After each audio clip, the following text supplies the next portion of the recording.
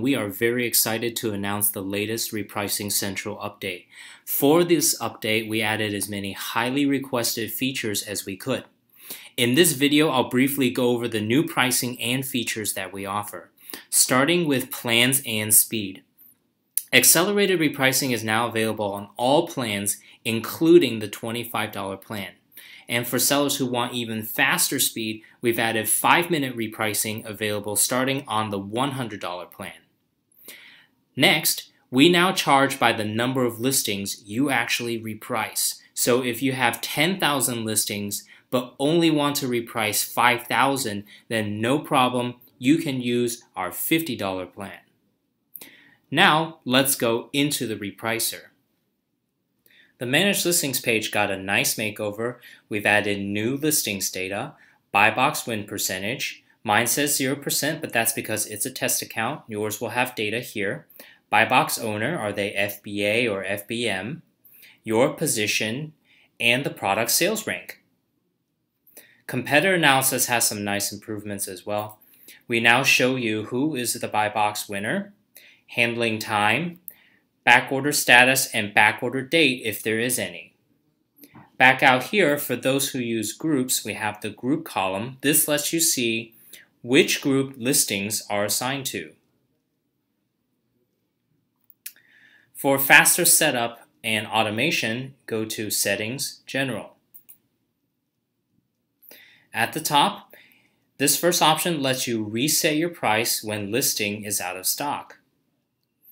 Next up, these options are for helping you automate some of the setup process. You can automatically assign values for listings as they are downloaded into BQool. You can set min price, max price, rule, cost, and FBM shipping cost used for the profit calculator. Now let me tell you about set shipping. In order to set min and max price, we need to have both your price and shipping. It may take a few hours for shipping fees to download. This option lets you assign a shipping value first so you can start setting up min and max price. Later on, when the shipping fee is downloaded from the report, it will replace this. Next up, we've made some big improvements to our rule. This is a really important feature. You can now reprice directly against the buy box. We've added the price change safety net to prevent those large one-time price drops.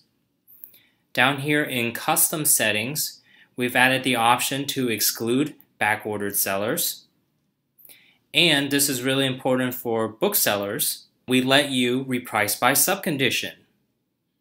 Here you can choose to compete against the same condition, same or better, used, you can choose specific conditions, or collectible.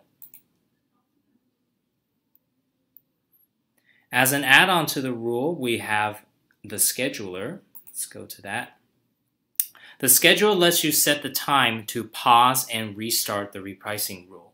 The repeated schedule allows you to pause and restart repricing each day. And you can use this to reset your price when you pause. Set fixed date schedule lets you set a one-time schedule to pause and then restart repricing.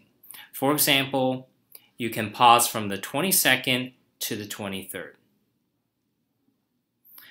Finally, the business reports. For those who want even more data, we've added business reports to help you analyze and optimize your performance. Some of the new data includes estimated profit. We have a new formula for calculating buy box win percentage, number of times you reprice, number of times you reprice up, you price down. You can track your main competitors. Are they FBA or FBM?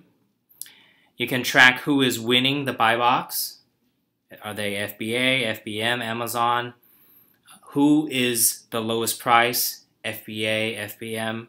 And that's not all. There's a lot more data here which you can play around with in your account.